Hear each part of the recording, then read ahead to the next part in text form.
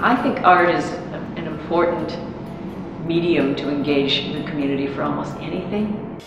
I, I'm very excited that we're doing this program a second time. When they said it was only going to be the one shot last year, I thought, what, what a bummer.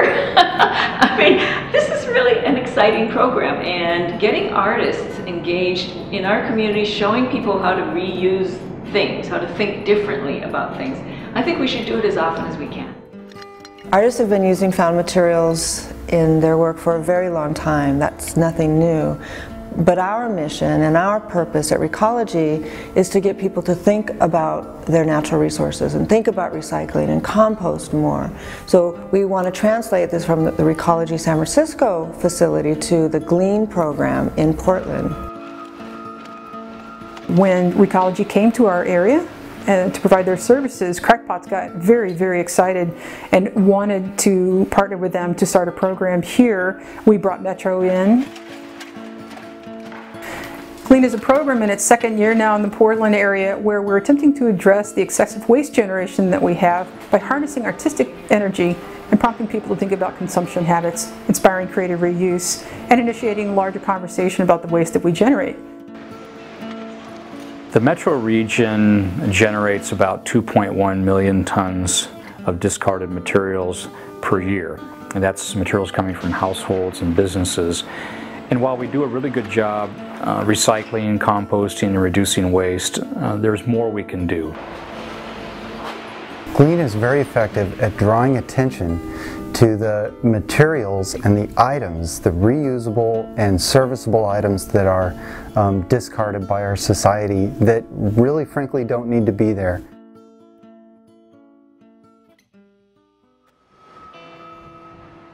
My name is Chandra Glaseman, um, and I'm a sculptor. I feel so privileged to be able to work directly with what people are getting rid of. Initially, I was just really, really excited. And uh, so I was gathering everything that I was attracted to. Once my work changed, uh, once I got specific about wanting to make scavengers themselves, um, I would go out looking for that animal. I saw this couch, and at the same time, I saw the vulture. And I think I saw more of the vulture than I did of the couch. And uh, with the hyena, I saw the chair and I saw the hyena. They were, they existed simultaneously. I feel like scavengers and gleaners of all kinds also serve a very important function within society and that gets overlooked.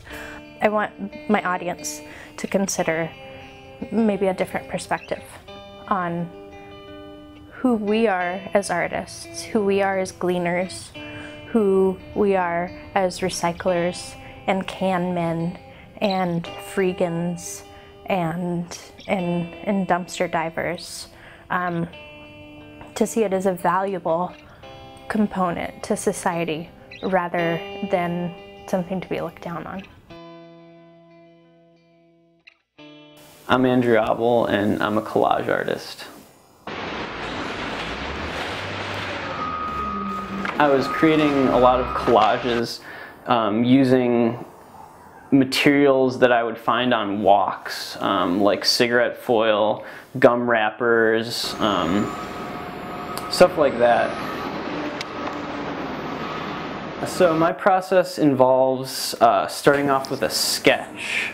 And uh, what I do is I uh, use tracing paper, um, basically like trace the shape that I need. I get the shape that I want on uh, the back of the material that I want and I use um, a glue stick to glue uh, down most materials that I use. A bunch of rock climber magazines and uh, I use those rocks uh, as thumbstones in this piece which is titled Thumbstone Excavation.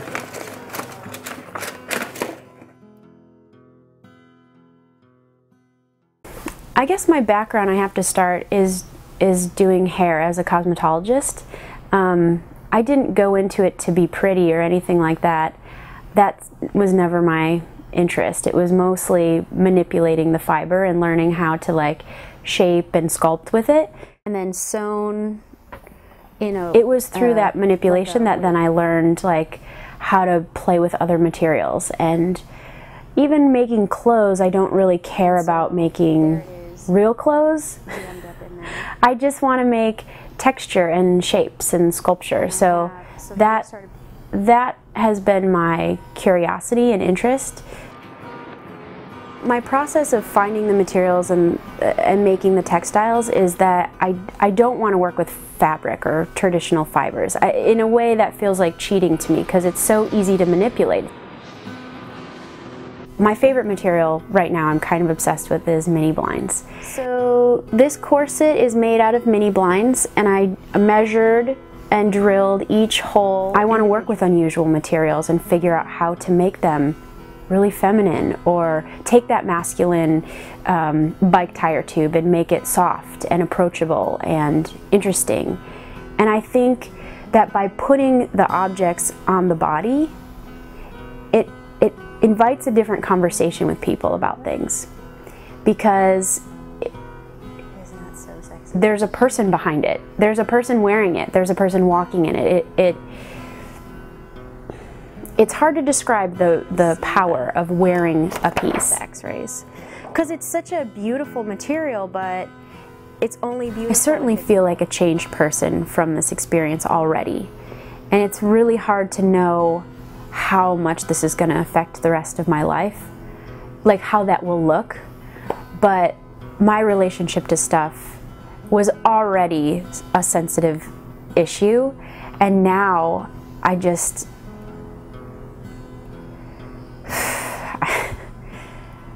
I mean, I want to tell as many people as possible, like, Wah, don't throw that away. We'll figure out a way to work with that. I am Greg Hansen and I am one of the Glean Dream Team members out of five of us working here in Portland at the City Dump and I'm an assemblage artist. I have picked up uh, an amazing assortment of stuff that I've been using in my in my work. I've got everything from old piano parts to uh, you know rusted metals. There's some musical instruments here. There's uh, old glass. There's uh, old toys, you know, some wooden scraps down here that I'm using for uh, to, create some of my boxes. Somewhere along the way into my adult life, I discovered the artist Joseph Cornell. And uh, like I tell everybody, it was kind of like a giant switch that went on in my head. And I knew that I just had to know a little bit more about assemblage art. And I wanted to create some of my own work, some of my own boxes.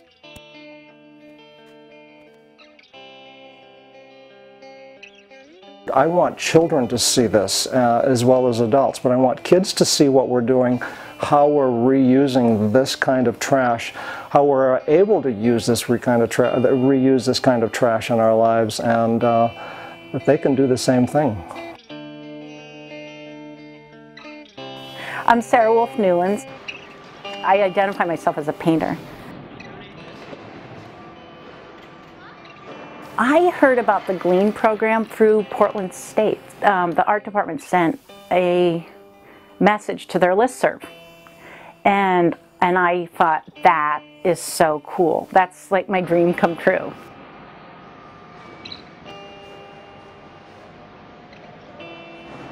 What I'm working on here with for the Glean project is really a response to things I see.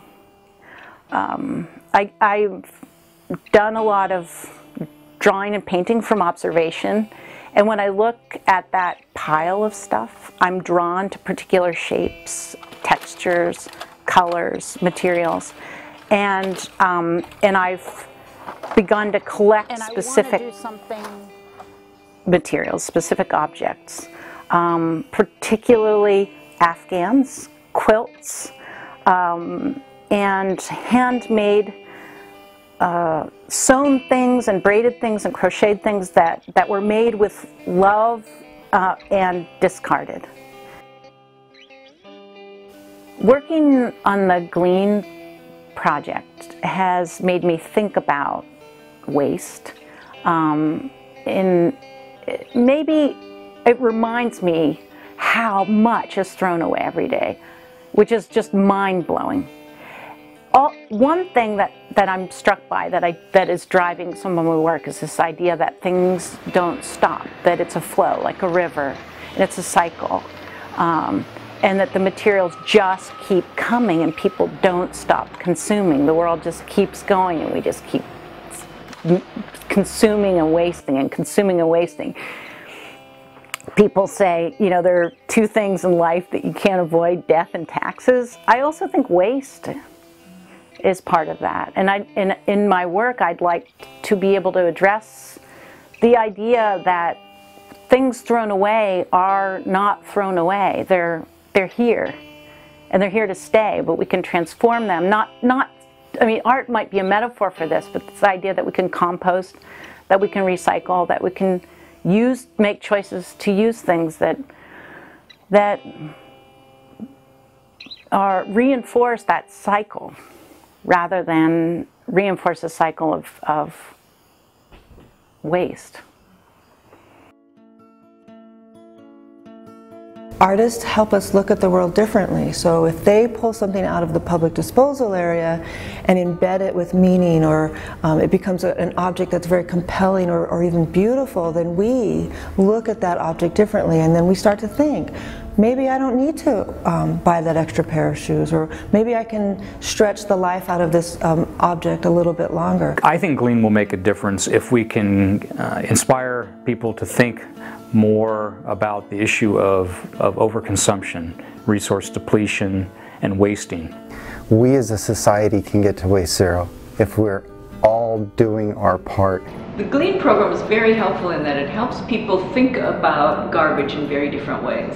When you're getting ready to throw something away, if you've had this experience of the Glean program and seen things like this wonderful necklace made out of somebody else's garbage, you're going to think twice about throwing that away. I've talked to people who are jealous of, of, the artists who got to go in and look at the garbage and pick through it and find things that could become art.